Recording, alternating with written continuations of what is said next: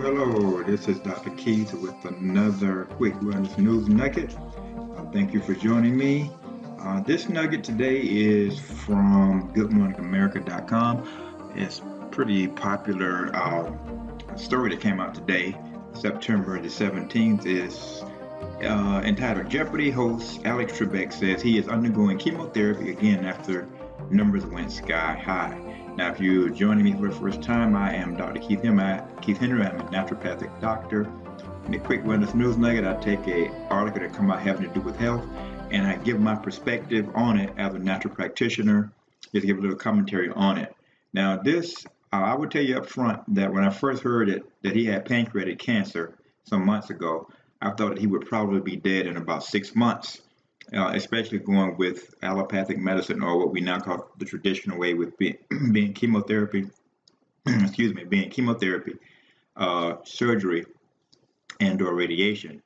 And uh, because pancreatic cancer is one of the most devastating cancers, uh, very devastating cancer. And uh, it is the uh, treating it the regular way has a very low success rate. And so I didn't think that he would, I personally didn't think that he would last much more than six months. And he's at about the six month mark now.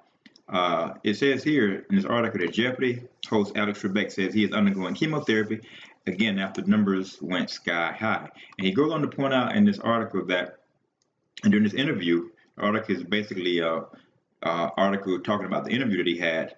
And it says that he was in this interview, he told a, uh, ABC News that his doctors have decided to, to have him undergo chemo again after he lost a large amount of weight, and his numbers skyrocketed right after finishing his first round of treatment for stage four pancreatic cancer. Now, understand, stage four pancreatic cancer is very, very serious.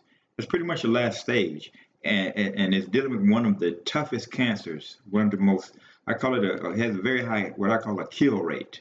And um, even for natural, for natural uh, practitioners, this could be a very challenging cancer, but the success rate uh, would probably be better than with regular, not probably would be better uh, than chemotherapy, especially in, in, you know the body is already in, a, in, a, in, an acid state, and to dump more chemo, uh, large amounts of chemo in the body uh, to kill those uh, your immune cells. It kills cancer cells, but it also kills your immune cells, immune uh, the cells that you need, your immune system cells. So basically it's not a very good uh, way to treat cancer. He goes on to say in this article that he was doing so well and his numbers went down to that of the equivalent of a, a, a normal person who does not have pancreatic, pancreatic cancer. So he said they were all very op optimistic. And his doctor said, okay, we're going to stop the chemo and we're going to start start you on immunotherapy. So basically, they were going to now they're going to say, okay, we're going to start trying to boost your immune system. Now, immunotherapy is really what cures cancer, but the way that the medical community now does it, as opposed to the way that a natural practitioner would do it, is is somewhat different. And so the immunotherapy, the whole idea behind it is to boost your immune system back up to a, a, a level to it can fight off, fight the cancer off itself, as opposed to uh, you trying to kill off the cancer. And because that's not really how cancer is cured. Um, the natural way you have to you have to go down and you have to go down into the stem cells, et cetera. This is not the place to go into this, but but simply um, to keep it simple, he goes on to say that he lost about 12 pounds in a week. And he says my numbers went sky high, much higher than they were when I when I was first diagnosed. This is because he is dying as opposed to living. He says so the doctors have decided that I have to undergo chemo again, and that's what I am doing. Uh, he talked about how cancer has taken a, a, toll on his body, saying sometimes it's excruciating pain, other times it's fatigue. Um, he went on to say further that he sometimes feels a surge of sadness and depression. And he goes on to say that it's uh, sometimes he gets teary eyed and, and, and, almost uh, goes into tears for no apparent reason. And this is because when you're, whenever, anytime you have any type of disease or sickness, um, the mind and the body, they function uh, very closely.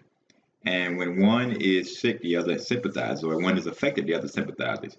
And so, again, like I said, uh, I I wish the best for Mr. Trebek and his family.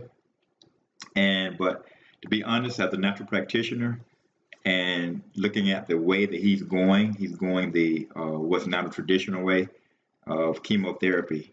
Um, I, I I'm not. I mean, I, I wish him the best. I hope that he ends up the best, but I'm not very optimistic about it. And uh, but who knows? Um, God can still heal, but I, I just don't. Um, I, I don't really have much of a. Uh, I'm not very optimistic optimistic about his outlook. So I'm not surprised. Like I said before, when I heard that he had it, I thought that he would probably be dead in six months unless he went into a very, very high level natural program. Uh, when I heard that he wasn't doing that, I, I, figured he would probably be dead in six months. And this is September. Uh, he was diagnosed in March. Uh, at least it was made public in March. I'm assuming he was diagnosed in March according to all the published reports.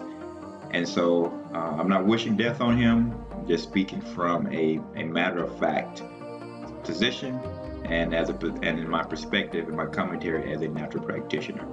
So all the best to Mr. Trebek and his family, and I hope and pray for them. Thank you for listening uh, to this quick wellness news nugget, and be sure to subscribe. Until next time, goodbye.